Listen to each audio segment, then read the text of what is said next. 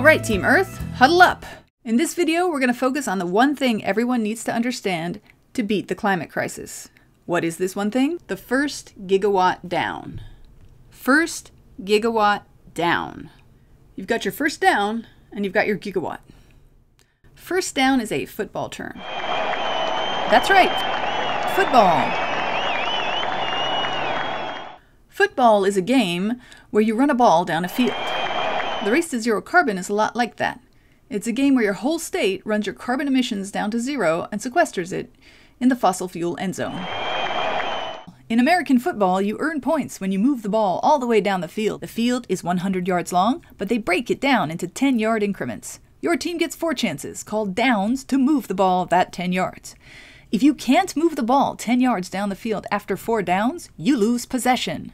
The other team gets to try. But if you do succeed in moving 10 yards or more, if you gain a minimum of 10 yards, that's called a first down. You now have another four chances to move another 10 yards, to move another first down.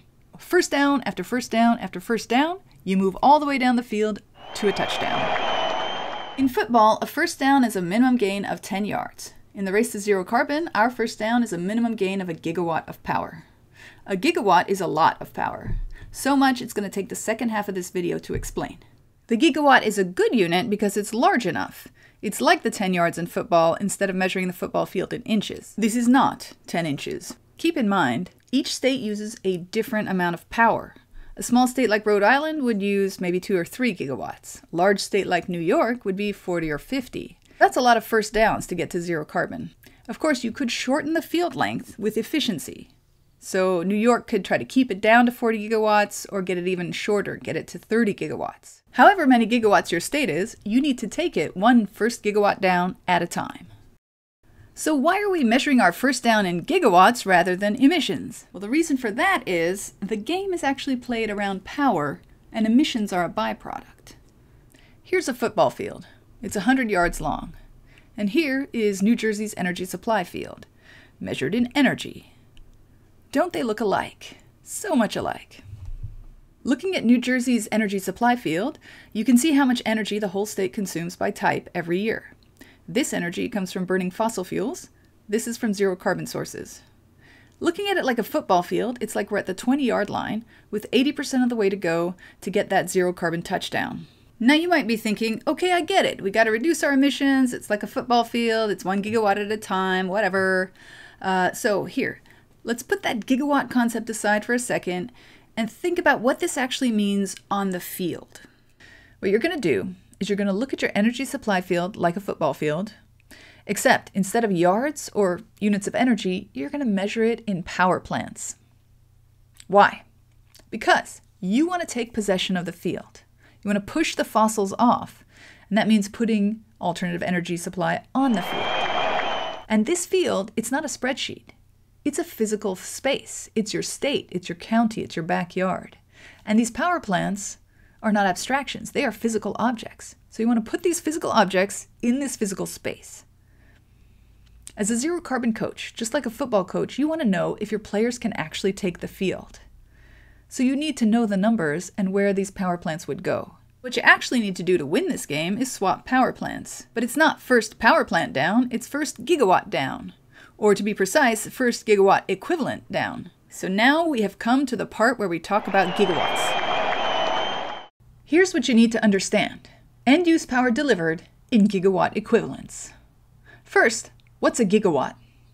A gigawatt is a thousand megawatts. A megawatt is a thousand kilowatts. A kilowatt is a thousand watts. So a gigawatt is a billion watts. What's a watt?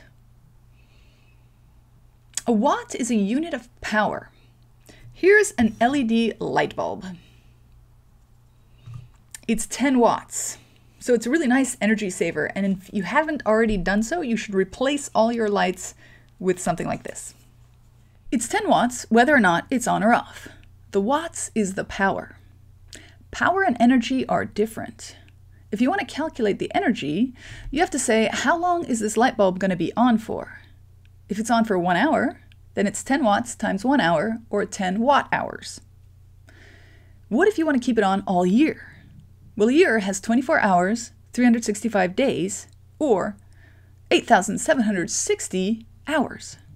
So keep it on all year, it's 10 times 8,760, or 87,600 watt hours in that year.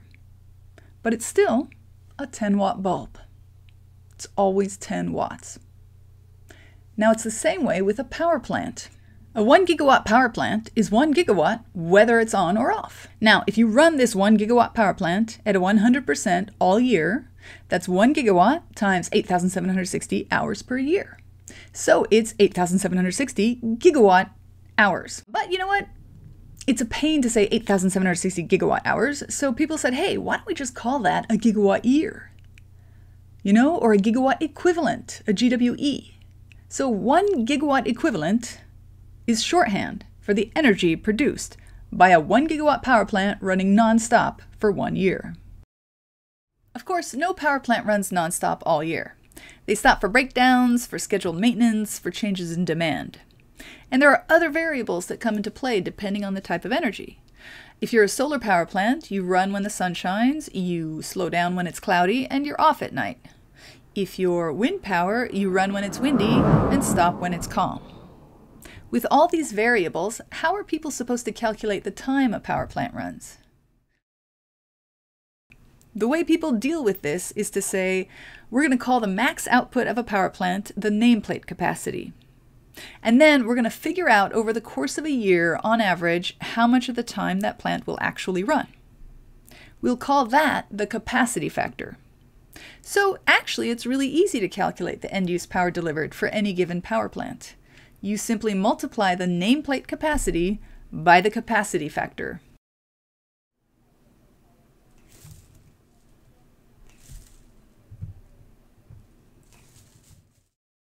Let's take a moment now to appreciate the equal sign. When you have an equal sign, what that says is that what's on one side of the sign has to equal what's on the other. But it doesn't have to be identical. This has profound implications. On this side, you have your 1 gigawatt equivalent. On the other, you can have any combination of things that add up to 1 gigawatt equivalent. You know, you could find that mythical 1 gigawatt power plant that runs perfectly all year, um, or two 1 gigawatt power plants that, you know, break down half the year, each of them, or, you know, two 500 megawatt plants that run perfectly all year. Or, you know, what about solar rooftop? You can get 1.3 million 5 kilowatt residential solar rooftop installations that run when it's sunny. Whatever configuration you use, you just have to make sure it adds up to one gigawatt equivalent, or you don't get your first gigawatt down. Remember, this isn't just a math exercise. Whatever you come up with on paper, you have to execute on the ground. Football teams don't win with the doodles in the playbook. They have to go out and enact those little X's and O's in real life, facing real human beings who want to crush them. In the race to zero carbon, you can't just wave your hands and say, oh, we'll put up a wind turbine somewhere. You have to face an approval process. I mean, seriously, this is just like, all right. Um, so, this approval process is the real challenge. This would be like your game plan, all the X's and O's on the field. There, there are a lot of agencies that have to weigh in and approve any given project. And then you get to your you get to your stakeholders, you get to your community, and they say, "Hey, we don't want this thing in our backyard." They don't want it in their backyard.